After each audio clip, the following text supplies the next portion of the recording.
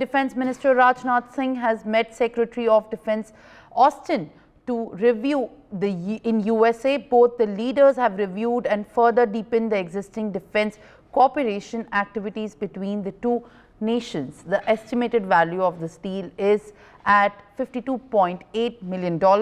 This is set to enhance India's anti-submarine capabilities and strengthen the strategic partnership between the two countries. India has requested to purchase various types of sonobuoys including the AN SSQ 53G high altitude anti-submarine uh, warfare which is also known as the HAASW and now also other ones all uh, sonobuoys.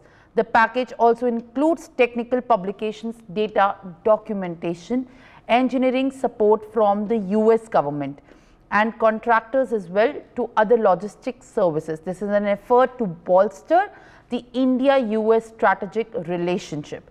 The proposed sale will significantly boost India's ability to counter current and future threats. This will also provide and enhance its capacity to conduct anti-submarine warfare operations. The sonobuoys will be developed, deployed rather from India's MH-60R helicopters which are a crucial part of country's maritime defense strategy. Joining me on the broadcast is Group Captain Uttam Kumar Devnath, who is a senior defense expert. We appreciate you joining us on the broadcast, sir. Uh, while we see that important strategic ties have been strengthened between the meeting by Union Defense Minister Rajnath Singh and Jake Sullivan, how do you view this deal importantly as estimated over $52.8 million for India specifically? Uh, yes, Simran, very, very important uh, defense deal. Our Navy uh, is uh, procuring uh, 24 MH-60R Romeo anti-submarine warfare helicopters from USA. And this helicopter is very potent weapon system. It will be deployed on board on the deck of Indian Navy warships. Uh, this helicopter can take off from any warship or from coastal airport uh, and then uh, travel up to a distance of 500 kilometer looking for enemy submarines beneath the surface of seas. Uh, what is very important, Simran, is to understand that what are sonobuoys? Sonobuoys are basically floating device. Uh, these are released on the surface of sea by helicopter or by low-flying aircraft. Uh, we'll be deploying these uh, sonobuoys on surface of sea from MH-60R Romeo helicopter after deployment, these will float on the surface of seas.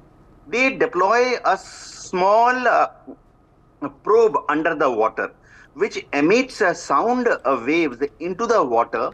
And when these sound waves, they hit the enemy submarine, they are reflected back. And the bounced back sound waves, which are reflected back, are again captured by these sonobuoys, thereby uh, revealing the distance and direction of uh, enemy submarine.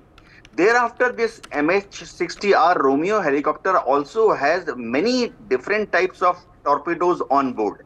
It can release, uh, say, Mark 54 anti-submarine torpedo, which thereafter enters water, travels towards the enemy submarine and hits it, explodes and destroys the enemy submarine.